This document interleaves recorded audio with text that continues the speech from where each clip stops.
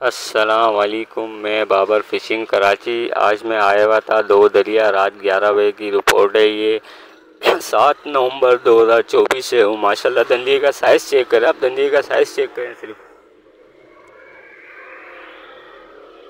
भाई, बाबर फ़िशिंग को ग्रुप से निकालने का अंजाम देखो।